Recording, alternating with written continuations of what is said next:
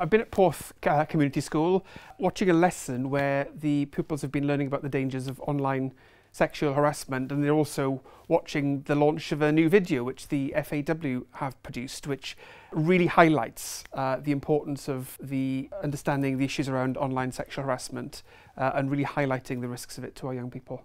Um, and it's been fantastic listening to the teachers and the learners and the players uh, talk about such an important issue.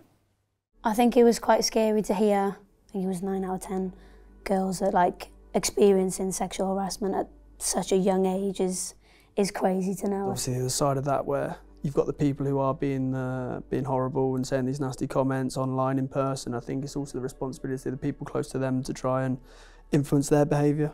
Well, I think if you've been subjected to online sexual harassment, you will realise just how harmful it is. And the discussion in the class today was really uh, spelling that out uh, amongst the pupils.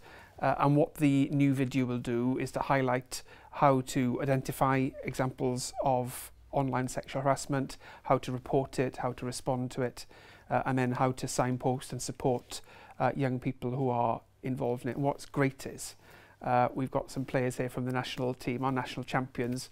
Uh, lots of our young people look up to them, and so it's great for them to be here sending those messages to our young people as well today. So in order to get uh, more information, firstly watch the brilliant new video from the FAW, but you can also check uh, online on the Hub platform for the Keeping Safe Online resources, which will really give you all the advice that you need.